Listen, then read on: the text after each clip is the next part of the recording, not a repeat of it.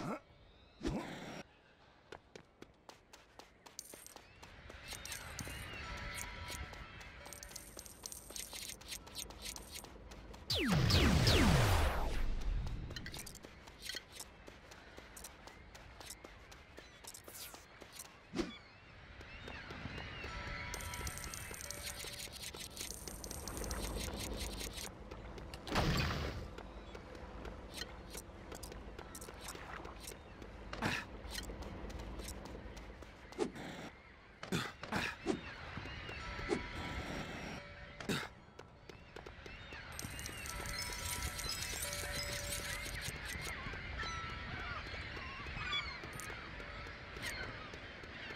Thank you.